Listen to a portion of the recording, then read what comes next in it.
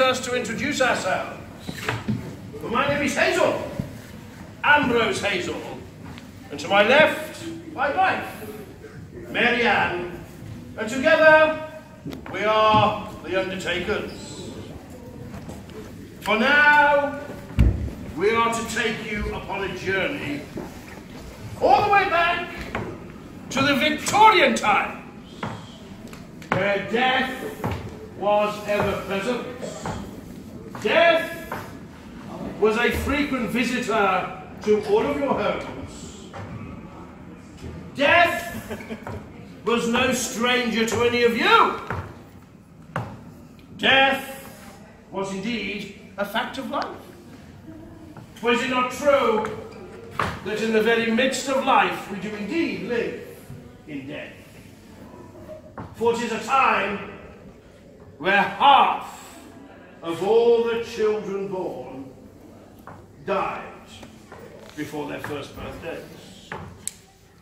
Where of those who survived, less than half lived beyond their fifth birthday.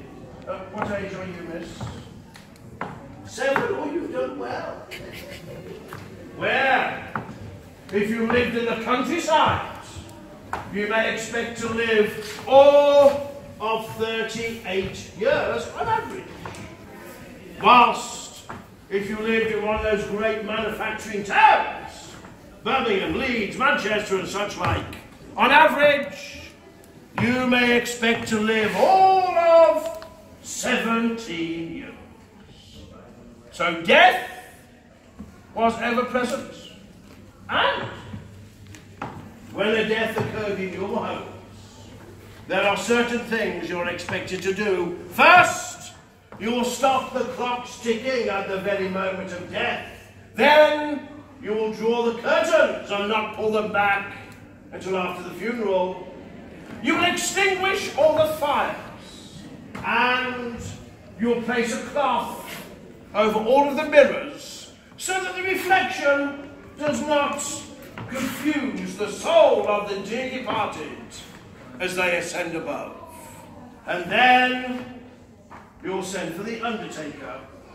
And we, we will tell you of all you may have to give your dearly departed a good send-off. For you do not want to be known for giving your dearly departed a poor or a cheap funeral.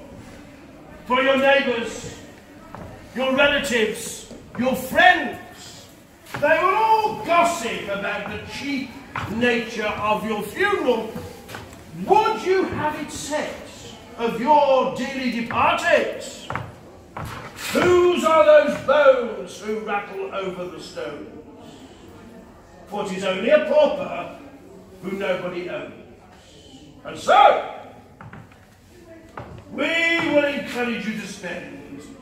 Indeed, we, we undertakers, we're often accused of encouraging people to spend beyond the depth of their pockets for our own profit. Rubbish! Rubbish. It is our duty to stop you from embarrassing yourselves. And we, we can supply all.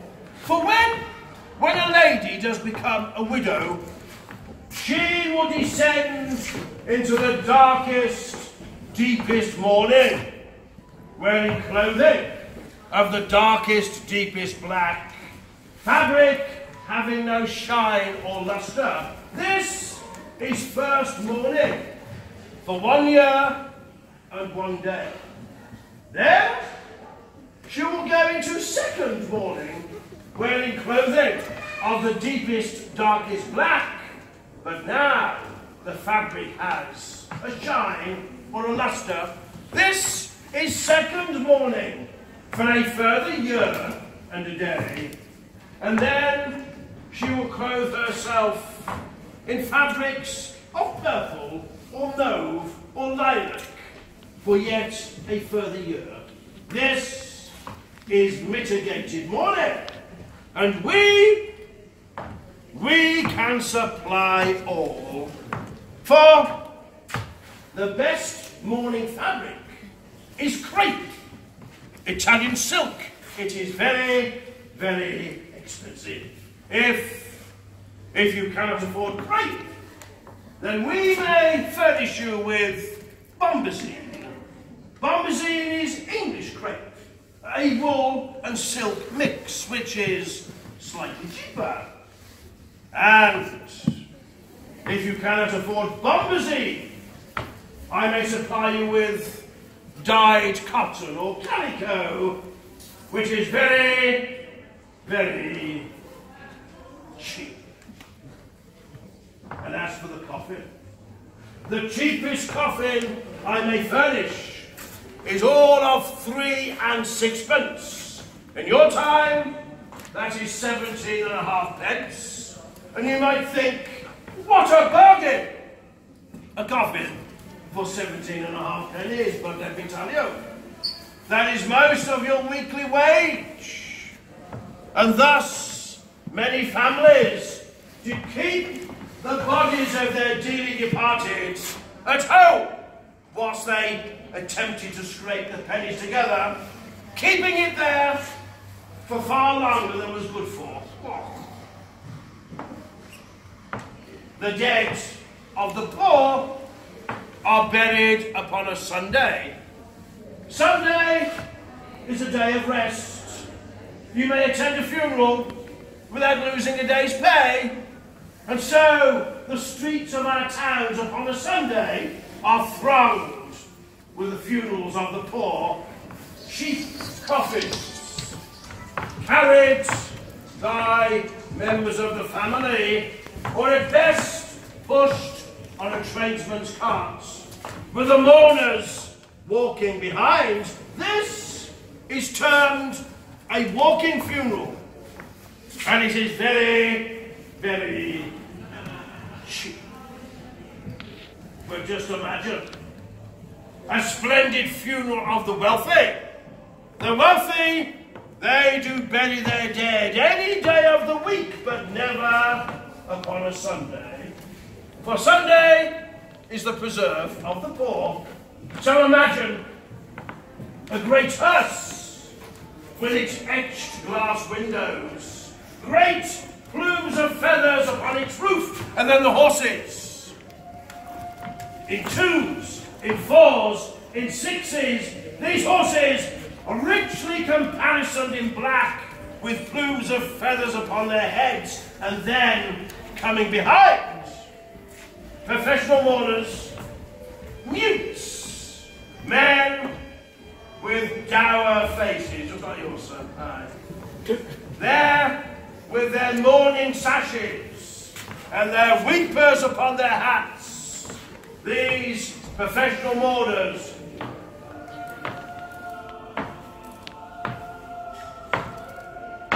solemnly follow the hearse.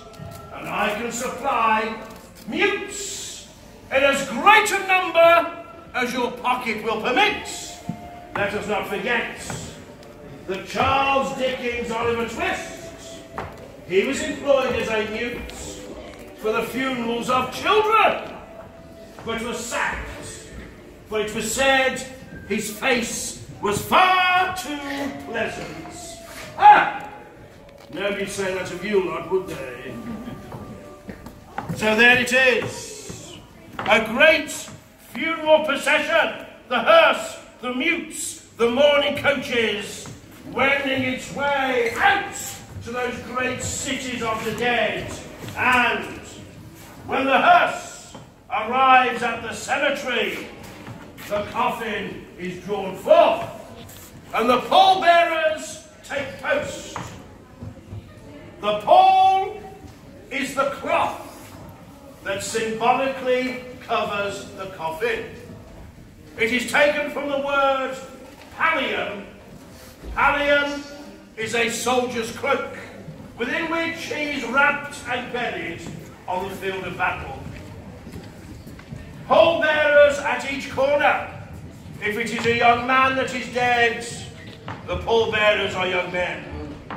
If it is a young woman who is dead, the pallbearers are ladies. If it is a child that is dead, the pallbearers are children. And beneath, out of sight, you have the underbearers who carry the caskets, take it to its place of final repose. It is a splendid sight. And Mrs. Hazel and I, we would be delighted to wait upon any of you when that moment does arise. For in truth, we never know the hour. And by looking at some of you, it ain't that far away. So, now, would you invite the little ones, and perhaps the not so little ones, to come forth and take part in our Victorian funeral procession?